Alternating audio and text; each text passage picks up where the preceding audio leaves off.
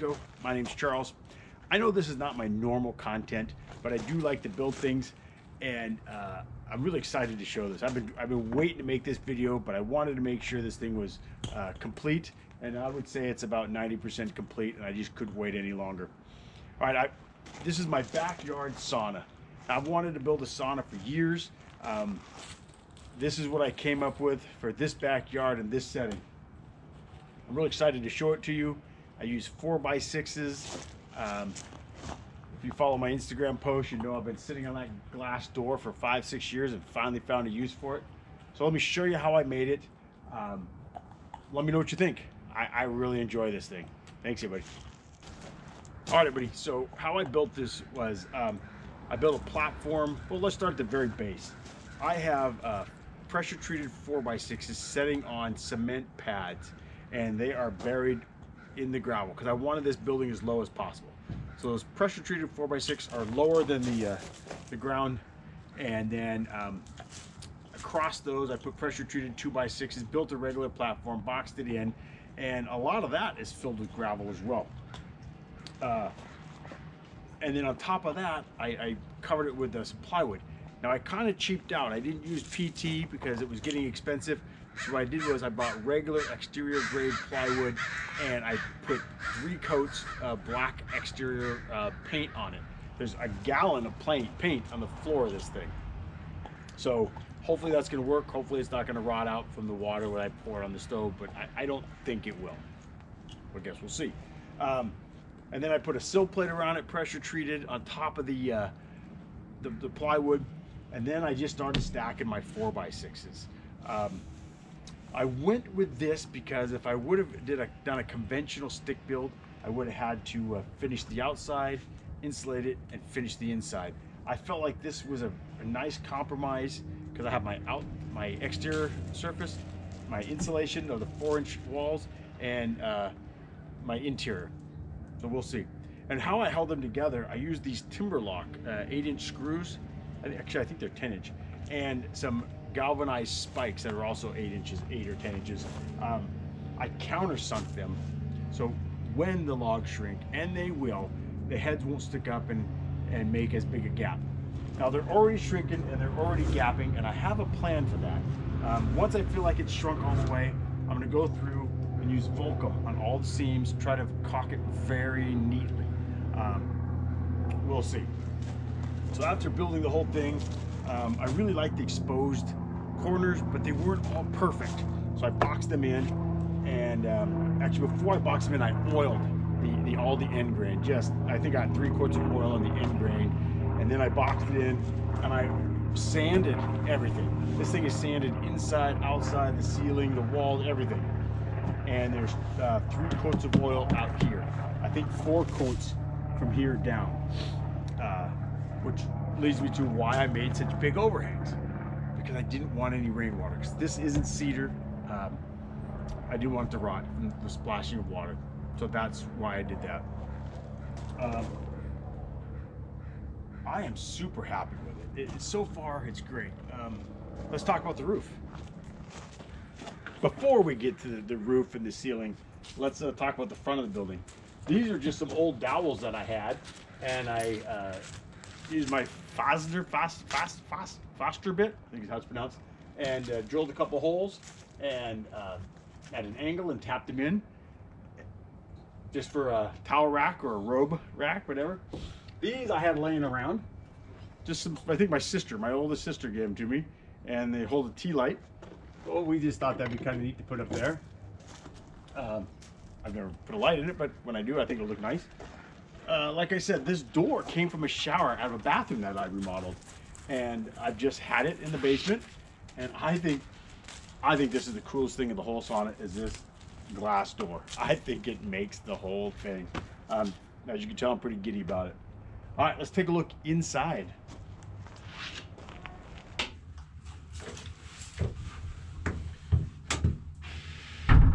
All right, inside, I finished with the uh, same trim or same cedar boards that I used on the floor and that I made these benches out of. The, the inside walls are all sanded. I didn't lacquer them or treat them uh, because I didn't know how it would react to the heat. I thought about it because I thought it would lock in the pitch, and yes, there is some pitch dripping in here. Um, but again, I wasn't sure. I wasn't sure how it was going to react with the heat. If you guys know how some spar varnish would would work in here um, when it gets to about 150, 170 degrees, let me know. Um, as you can see, I don't know if you can see the light coming through. I do have gaps. I'm okay with it. It helps uh, feed the fire. But like I said, once it completely shrinks, I'm going to seal it. I'm going to chink it and Vulkem it on the outside. Uh, the benches, I made two different heights. Uh, this is obviously a little warmer than, than, this one down here. What I did was I took this uh, three and a half inch cedar boards that I used on the floor um, and, and, this trim, and I ripped them into three equal parts, rounded the, the edges, and uh, spaced them out with a quarter inch uh, plywood. I'll show you how I did that. I think I have a video on that. Uh, I'm super happy with these. I have a frame uh, against the side wall and the back wall, so they are very solid. Um, I built the lower bench the same way. The floor, like I said, is painted uh, plywood, and then I used a construction adhesive and screwed the cedar floor down to that. I couldn't afford to build the whole thing out of cedar, uh, but I did want some cedar accents on the inside. So I'm super happy with it. Um, I haven't put any uh, sealer. I'm not sure what I should do. I'm still trying to figure that out or leave it natural. I don't know. Um, let's talk about the roof. So the roof, um, I have these four by sixes, 10 feet long, three of them on a six foot uh, wide building, running the whole length. And on top of that is uh, what we call it car decking, but it's it's a tongue and groove two by six decking. Um, so I have that on top. And on top of that, I used a, uh, a Grace Ice and water shield. And I thought that would be enough. And, and I, I struggled and I, I thought, why take the chance? Um, so what I did was on top of the Grace, I built a two by four uh, rim all the way around that I could fill with dirt. Before I did that, I lined it with a pond liner, uh, Don't know, an eighth or 16 inch uh, thick rubber pond liner, because I just didn't want this thing to leak. So I did that, and now what I'm doing is I'm filling it with leaves and dirt, and I'm going to grow uh, vegetation on the roof. I just think that would be kind of neat. So we're gonna give that a try. Uh, I don't know how well it's gonna insulate, but then I don't really care. It's It gets plenty warm in here the few times that I've used it. Uh, the wood stove I found on Craigslist. It wasn't exactly what I was looking for, but I think it really turned out cool the way the basket holds the rocks. And at that, I used the sauna a few times before I put the rocks in there and it definitely takes longer to heat up uh, now that those rocks are there. That's a huge heat suck. Um, so I have to plan for a little bit more time. But once it gets up to temperature, it stays there, it's more consistent, and I can pour more water on there and uh, um, get more steam. So I'm super happy with that. And I think it looks really cool. Um, behind the stove, I used uh, just a Hardie board. That's called Hardie board, cement board, um, that you'd use under your tile. And I just, because I wanted the stove as back as far against the wall as I could, I left an inch air gap behind that. Um, so far, I haven't had an issue. I certainly do keep an eye on it.